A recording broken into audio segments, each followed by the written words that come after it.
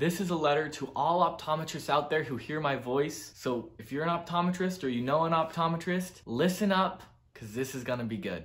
So about a week ago, I saw a post from someone who I thought was trying to tear down my videos and tear down the optometry profession. So I was actually about to get in an online argument with this guy, but I decided to look a little bit deeper and understand his point of view, and it turned out to be one of the wisest people I've ever had a conversation with. And he gave some things that would save my career and hopefully you'll save yours. So, thing number one that he said to avoid at all costs, and that is two types of people who are going to try to recruit you.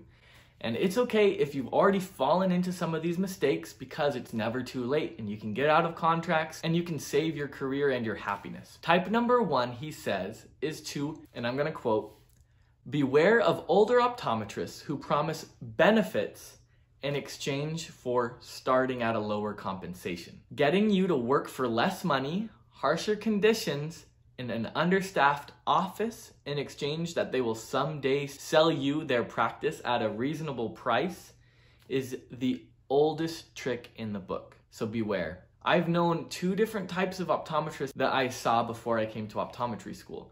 One is someone who got tricked out of their first about 10 years of practice because he went into practice with someone who he thought was going to end in ownership.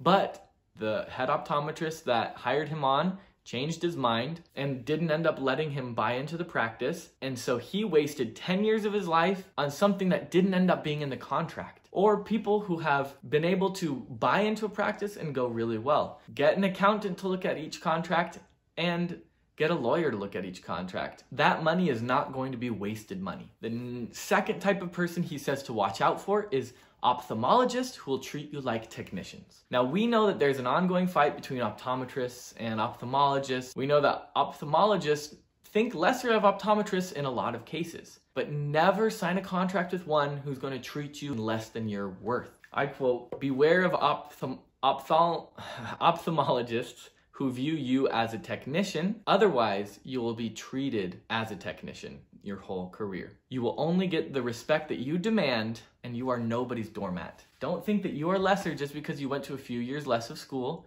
Make sure that you get the respect as an eye doctor that you deserve as an eye doctor. He then goes on to share that he didn't have the best OAT, didn't have the best GPA, and he wasn't the smartest in optometry school at all, but he shares that it's never the smartest people who do the best. And here's a quote that I like that he said By being an optometry student, you've already done the hard stuff. Becoming successful and becoming wealthy from that is the easy part. Unfortunately, most optometrists do not complete the simple formula for financial success. And I know that's true that a small, insignificantly seeming decisions now will make you so much more prosperous and happy and free in the future. Some simple financial things that I've done when I was 18 have turned out to be massive for me already just a few years later. And so make sure these years in optometry school and right after optometry school, you set yourself up for financial success. And it's way easier to end up successful than you think. He then shares this quote by Calvin Coolidge.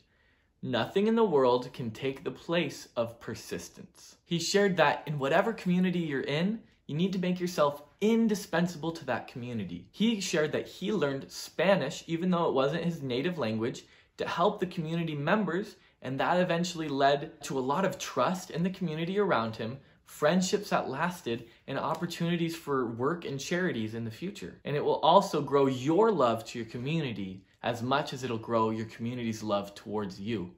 And it'll give you that much more happiness in serving them, just as it'll give them happiness in being served by you. He also said that to be the most successful that you can be, find a niche specialty.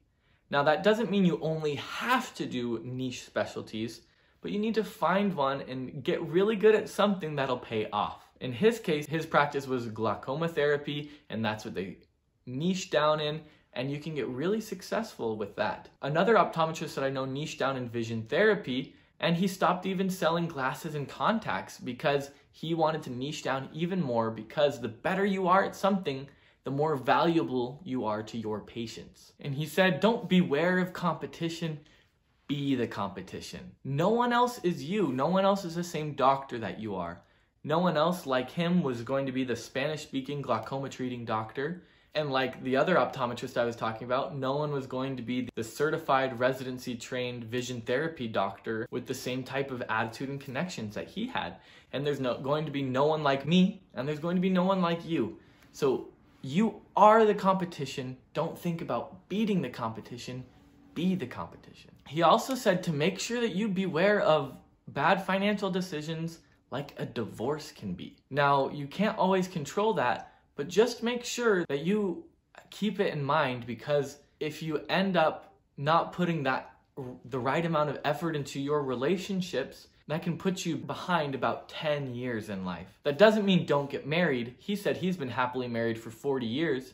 But just make sure you put that effort into those big decisions as well. And I'm glad he has some of the same financial mindsets as me because I know that those have helped me out so much and I hope to maybe contribute some of them to you. He said, Optometry will provide you with a comfortable living but will not make you rich. Optometry provides enough expendable income that you can put your money in investments that make you wealthy. Never make a dollar that you do not retain some portion of it for some investing. And then he went on to quote Albert Einstein and saying, The most powerful force is not relativity, but the power of compound earnings. And then he said, Compound earning and compound debt are what can make or break you. So make sure you pay off all debts and continue to compound your earnings by investing them in the stock market and real estate or other things. It will either raise you up or bury you down. And he said his investments were able to do so well because he went